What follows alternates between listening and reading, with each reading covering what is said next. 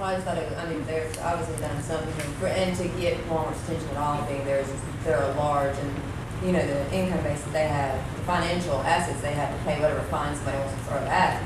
Uh, obviously, they did something push a button somewhere because there was a recent article, um, either beginning of this year and then the last year that Walmart, um, the corporation had said that they were joining that website so that they could better understand the needs and, and better improve their ways. There's also um, an interesting movie about Walmart. It's called The High Cost of Low Price. I don't know if anybody has heard of it. But we all pay a high price for the low prices at Walmart in terms of paying workers such low wages and encouraging workers to go and get food stamps and get, you know, publicly subsidized health care. So we're all paying for that. The infrastructure that needs to be built for these large stores in terms of the roads, all of that, we're all subsidizing that as well. And then they're putting the mom and pop stores out of business. So there's a lot of ramifications about these huge corporations and their, you know, race to, you know, up their bottom line at the cost of all of us. The, um, as you know better than the rest of us, there is, you know, uh, particularly North Carolina, a- this negative view of unions.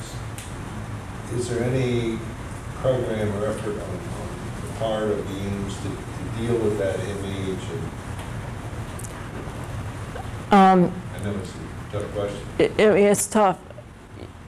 You know, I certainly would welcome if the National AFL would spend some money in terms of more of a kind of public relations campaign to combat those kinds of stereotypes. I mean, here on a local level, I mean, we don't have resources to, you know, have an ad campaign or anything like that.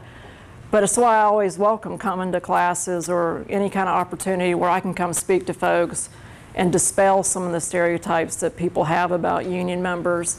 Um, you know, we also try and do letters to the editor or op-eds, um, radio interviews to try and explain what the labor movement is really all about and, and why it benefits all workers. But there's no real campaign or strategy, but it's, I mean, I grew up in North Carolina. I certainly know what folks think about unions here. If someone could design a public relations campaign, if nothing else but to give the facts, to, to not maybe lean one way or another, but to get people in Carolina to understand what is going on. If someone could come up with a low-cost or, you know, relatively no-cost campaign on that, who would they go to if they were interested in spreading the word about unions in general, what they can do?